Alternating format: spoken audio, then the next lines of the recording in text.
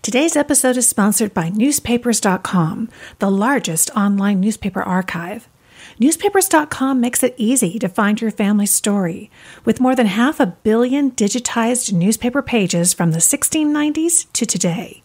Search for obituaries, marriage announcements, birth announcements, photos, and more in papers from across the United States, the UK, Canada, and beyond, stretching back three generations. For listeners of this podcast, newspapers.com is offering 20% off a publisher extra subscription. Just use the coupon code Family Tree Magazine at checkout. That's code Family Tree Magazine, all one word, for 20% off publisher extra.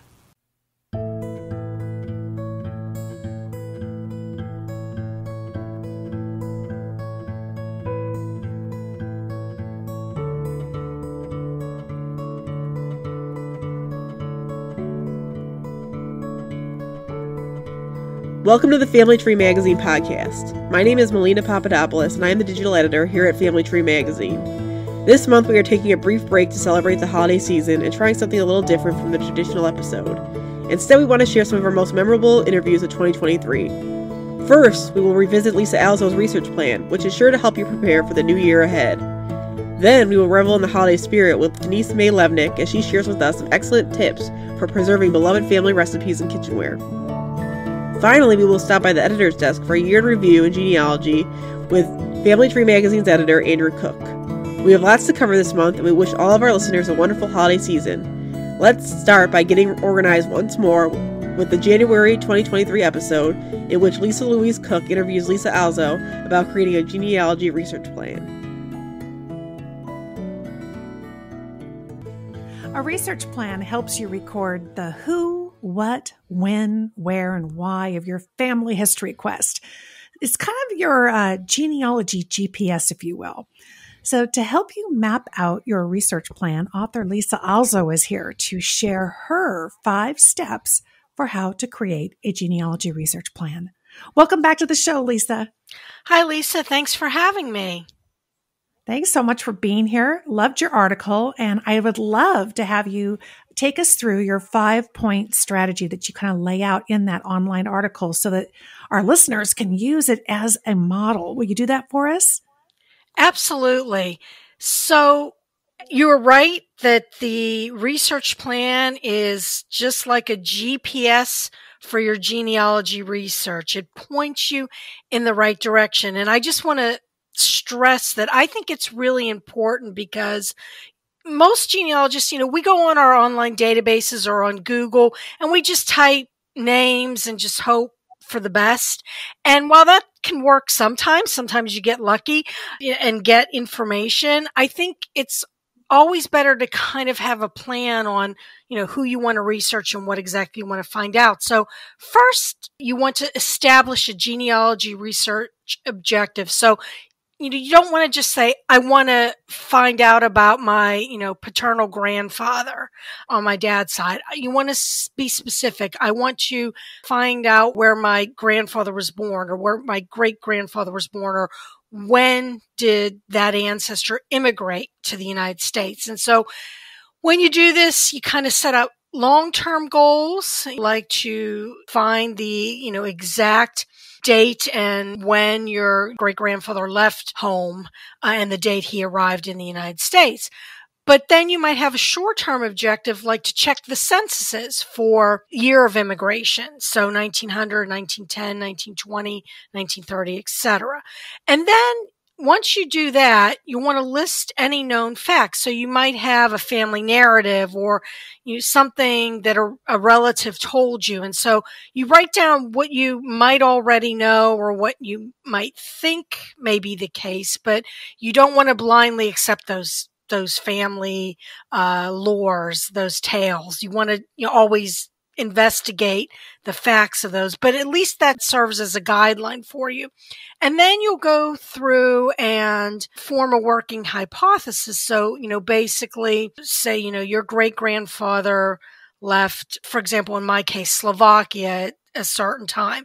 So I know he left at this date and that he was in the United States between a certain period of time. And so I kind of write it out like just a, a paragraph, what I know and uh, as much as I know, and that's that's covered in the article. An example is given, and then once I do that, I want to identify the sources that which records I want to seek. So obviously, you might seek a port of departure if that's available. You'll look for the passenger list when they arrived, and anything else that might establish when they arrived in the United States and when they settled. So, like in my my case, you know, I know there were some children that were born in the US. So I would look for, you know, a baptism or a birth record and, uh, you know, of course, other records that, that might help. So you'll look for your primary and secondary sources. And again, this is all covered in the article.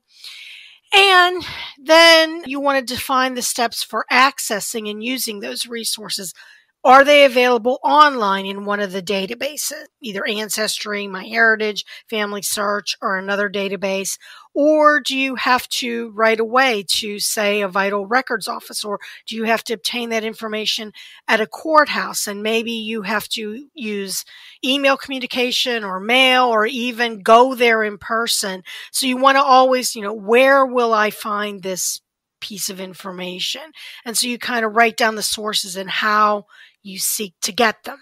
And then you're just going to then follow through on your plan and then of course record your results either in your genealogy software program or if you do a research log using Excel spreadsheet or Word or some other tool that you like to record your results. And that basically is the five steps. I love it. So we have, uh, you had number one was to establish genealogy research objective which I totally agree. I mean, we think we kind of know it in our head, but when you really have to almost write it down and put it into words, it helps you really get specific and focused. And then number two, you said was list known ancestor facts. So what we know about them. Number three, form a working hypothesis. Number four was identify sources with related records, which is terrific. Kind of starts a checklist for you. And then you wrapped it up with number five, which was define steps for accessing and using records. I love this process because it does, in a sense, kind of create a checklist for us. So we, we can start checking things off and uh, recording everything. You mentioned lots of different avenues we might use to record our stuff. Do, what do you personally tend to do? Do you tend to do that in your database? Do you create Excel worksheets? What do you like?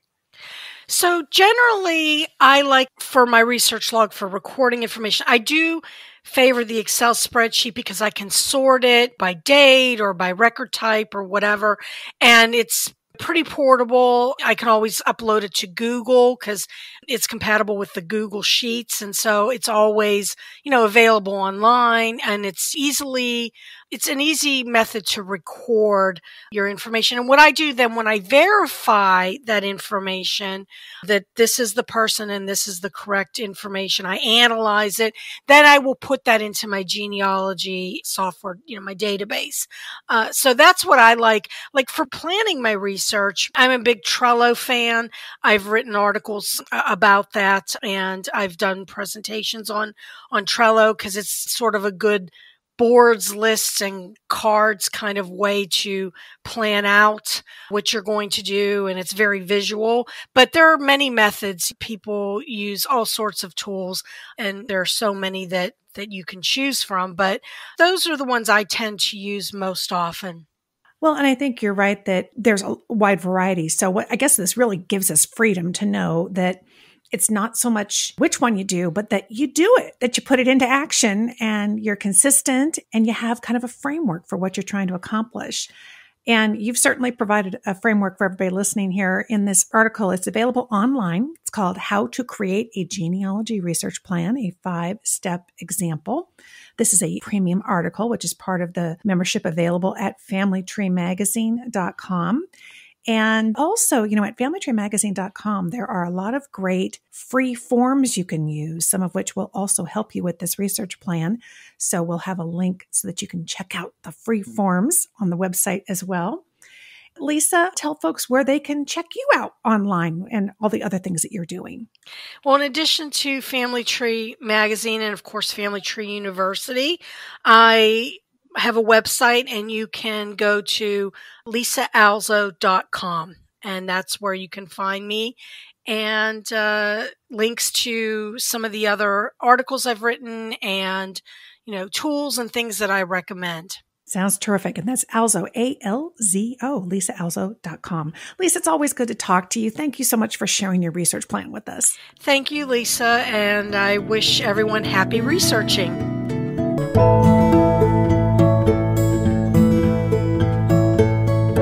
As mentioned at the top of the show, this episode is sponsored by newspapers.com.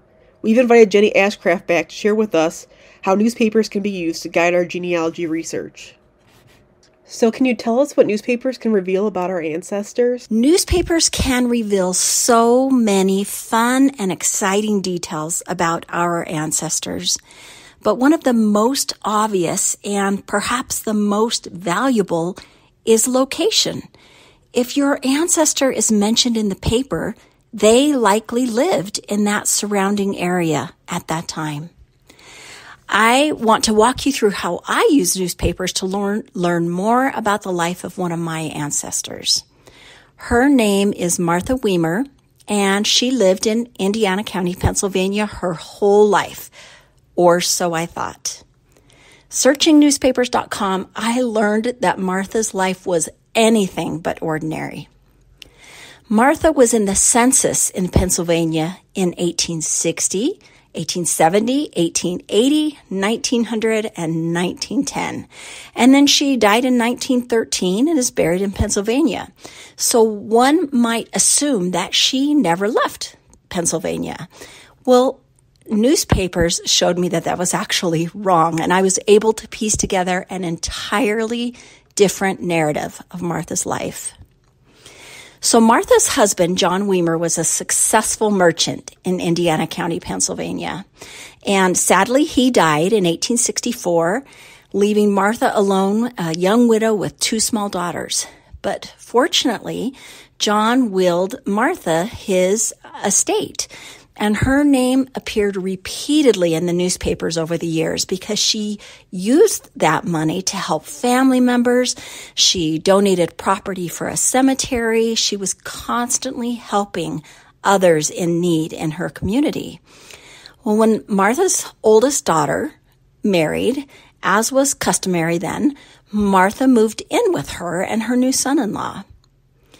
Well, Martha's son in law was a minister, and thanks to newspapers, I learned that the family moved to Colorado, Idaho, and even the Washington Territory, where he was a minister at different churches. So even though I thought Martha never left Pennsylvania, I soon discovered that she lived all over the country. Well, even though records seem to suggest that your ancestor, ancestor lived in one place for a long time, don't forget to broaden your newspaper search outside of their hometown, hometown, outside of the dates of their lifetime. You just may be surprised at what you learn. Thank you, Jenny. Can you also give us a tip or two for how to search newspapers.com for the best results? One of the best tips that I can share for using newspapers.com as a tool for your genealogy research is to try every combination of a person's name when you're searching for them in the papers. I'm a big fan of using quotation marks around a search term when I want to see results where just those weird words appear together. So let me give you an example. When I started searching for Martha Weimer, I went to the newspapers.com homepage and I searched for Martha J. Weimer in quotation marks, and I searched every paper in the country. Well, newspapers.com very quickly in a second or two returned 28 results, and every single one of them was for my ancestor. However, when I searched for Martha J. Weimer without quotation marks, I got more than 19,000 results.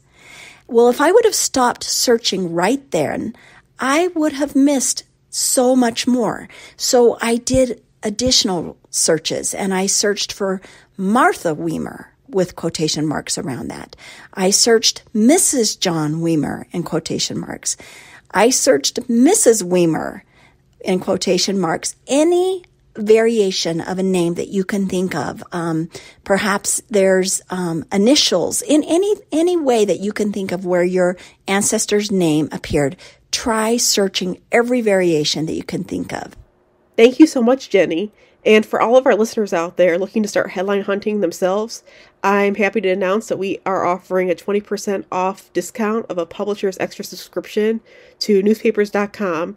And all you have to do is use the coupon code Family Tree Magazine when you check out. That's Family Tree Magazine, one word. Happy researching.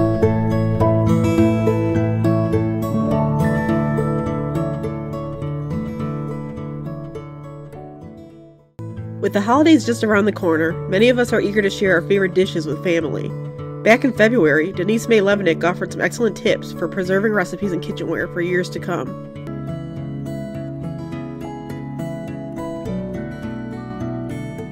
In today's Family History Home segment, we're heading to the kitchen to explore and preserve our culinary history.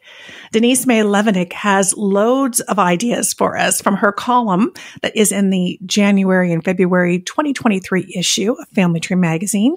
And she's here today to tell us more about it. Welcome back to the podcast, Denise. Hi, Lisa. Thanks so much for having me here. Oh, well, thank you for being here. I love this topic of heirloom kitchenware because it reminds me of many happy hours in the kitchen with my mom and my grandmothers. Our pots and pans and our Tupperware is pretty nostalgic, isn't it? It sure is. A lot of us have kept little odd utensils or kitchen tools, and um, they just bring back such memories. Food can kind of be emotional, and then we're spending time with our our loved ones and our families. So, um, yeah, definitely gets us in that nostalgic mode. I was thinking about that many of us have things that were given to us, let's say when we first got married, and then we have stuff in our cupboards that uh, we've been buying over the years. So we have kind of a mix of old and new. What kinds of items should would be looking for, keeping an eye out for in our cupboards? I like to look for things that have a story and a memory attached, and that's not really too hard. I think a lot of us will see something in our mother's or grandmother's cupboards, kitchens, and immediately that triggers a memory. I know my mom had a big bowl. It was the biggest bowl in our kitchen. And when I look at it now, it's not so huge. It was a kind of pottery, sort of an orangish color Bauer, I think, was the pottery maker, and it had little ridges around it. And that was the bowl she always made chocolate chip cookies in with a wooden spoon or a little hand mixer with a, you know, the two beaters that you would uh, push on. Yes. And so when after she passed away and my sister and I were clearing up her kitchen, I said, Oh, I want this bowl. My sister said, Well, fine, you can have it, especially because it has a crack in it but it's still okay. It still makes great chocolate chip cookies. the crack is part of the character, isn't it? It is. It is. And it's it just reminds me too that her chocolate chip cookies were not the ones on the back of the Toll House package. They were something different. And when I asked her about the recipe, she uh, sent it to me or gave me her cookbook or something. And it's kind of a Depression era cookie. It has a lot of oatmeal in it and it's not made with butter; it's made with uh, Crisco. So, oh. but it was good. yes. Oh my gosh. You know, it's funny. I you talk about items having stories. I have a, a cookie jar that I got from my grandmother on my father's side, and she was a, a absolute I'm neat freak. She she was very very fastidious, very clean. She cleaned all the time. And it's so funny. I was talking to an antique dealer and I was showing them the cookie jar, and she's like, "Your grandmother was very, very uh, clean oriented, wasn't she?" I said, "Yes. How did you know that?" And she's like, "This cookie jar used to be fully painted." she has scrubbed all the paint off this thing, and all what you have left is the ceramic. and I thought that is so funny because that is absolutely her story. So, of course, when she passed, um, I very much was excited to take that cookie jar home. Something else I think about is Tupperware. And here I was having the idea that Tupperware came around the 60s, but it was actually in the 40s. So most of us have had some exposure or at least have one Tupperware item in our kitchen. Is there anything that we can do to preserve or restore Tupperware? Oh my gosh, I just love Tupperware.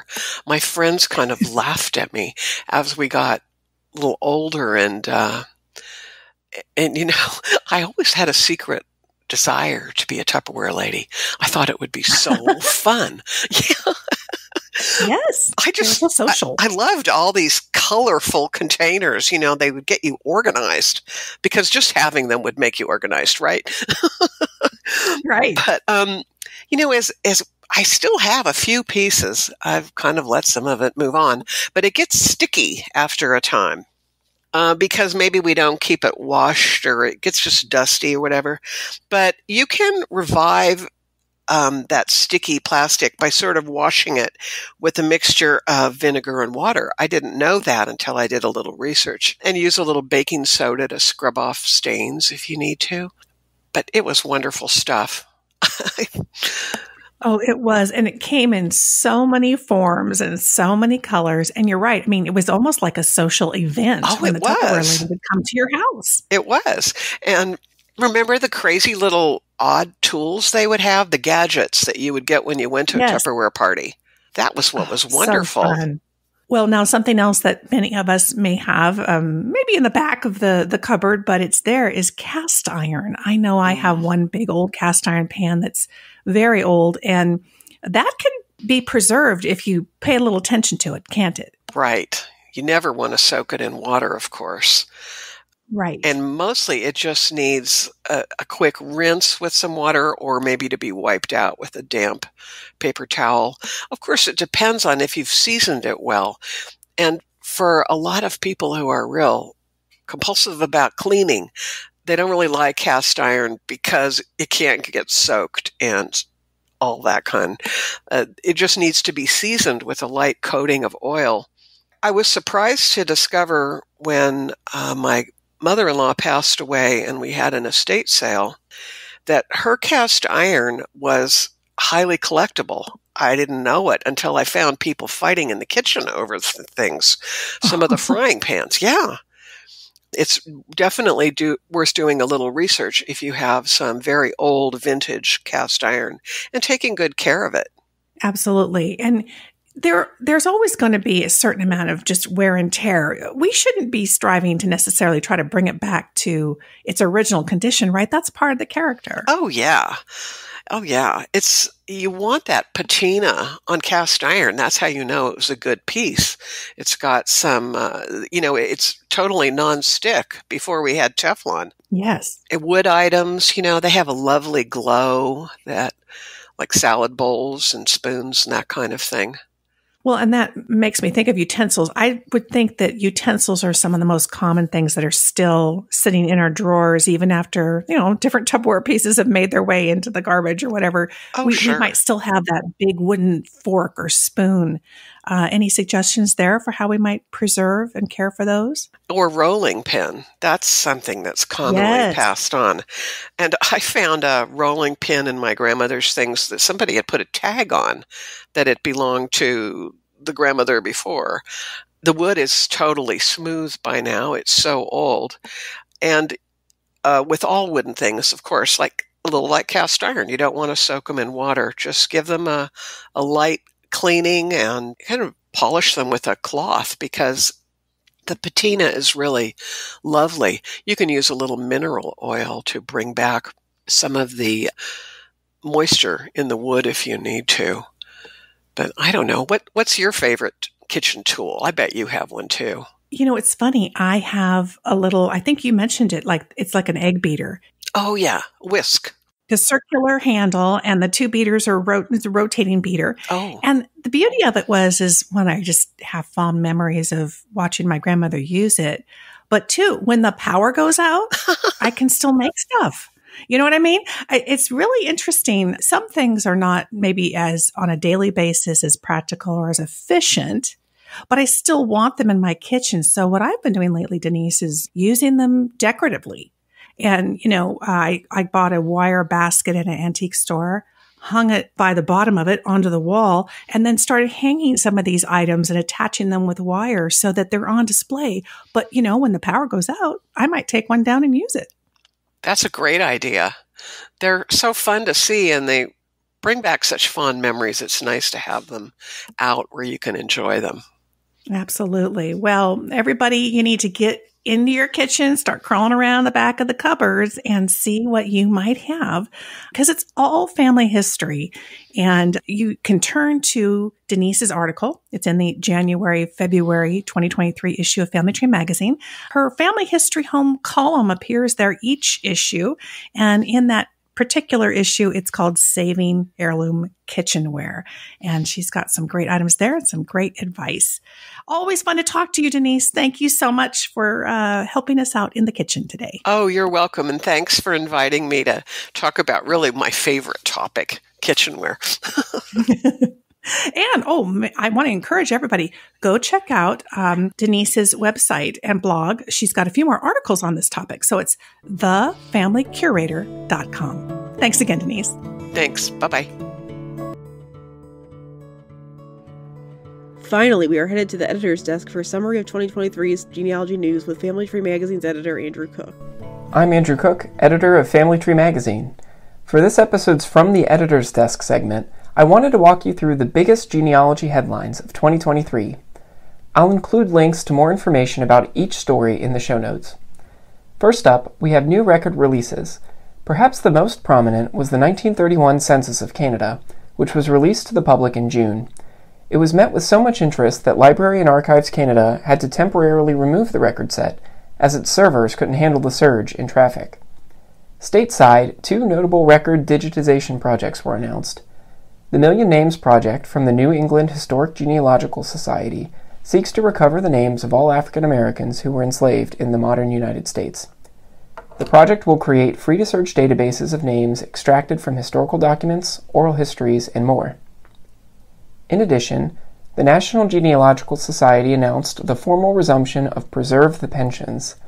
This project has been digitizing at risk War of 1812 pension records since it was announced in 2008 and is a collaboration between NGS, the National Archives, and Ancestry.com. New records are being added to Fold 3, where users can view them for free. Speaking of NGS, the Society merged this year with two prominent genealogy organizations Conference Keeper, a website that collects information about genealogy related events, and the Genealogical Research Institute of Pittsburgh, also known as GRIP, are now part of the NGS family. In the world of genetic genealogy, data breaches at two major websites prompted renewed calls for transparency and data security. In September, the owner of GEDmatch, a site that offers DNA analysis tools, disclosed that researchers exploited a glitch in its system to access the data even of people who had explicitly opted out of use by law enforcement. And in October, Testing website 23andMe revealed that hackers breached its database and poached information on perhaps millions of users, publishing some of it on the dark web. Elsewhere in DNA testing, UK based record site Find My Past and testing company Living DNA ended their partnership, and Ancestry DNA moved some of its tools behind a new subscription paywall. Ancestry also launched a new DNA test for pets, perfect if you've been curious about the history of your canine family members. Finally, the major genealogy websites continued to roll out new features this year. MyHeritage added a photo dater and a new scanning app called Reimagine to its suite of photo editing tools. And Ancestry.com has launched beta versions of several new or improved features, including a fan chart view for family trees, new messaging tools, and an updated user interface for its homepage. Ancestry also announced that its subsidiary website RootsWeb will become read only in January some of RootsWeb's features have already been sunsetted. Whew, what a year it's been. I'll discuss 2023 news highlights in our last Genealogy Insider email newsletter of the year. See the show notes for a link to sign up for free. Happy holidays and enjoy the time you spend with your relatives this month. both living and deceased. Thank you so much for tuning in for 2023's final episode of the Family Tree Magazine podcast, the show from America's number one genealogy magazine. As always, I will include links to key resources mentioned in the, all the interviews in the show notes. You can find the show notes at familytreemagazine.com slash podcast. FamilyTreeMagazine.com is also an excellent resource for finding many different genealogy tools such as how-to guides, free downloads, and so much more. If you're listening to the show through a podcast app like Google Podcast or Apple, we would appreciate it very much if you left a five-star review for us. That way, other people can discover us and learn all they need to about genealogy research. Thank you again and have a wonderful holiday season.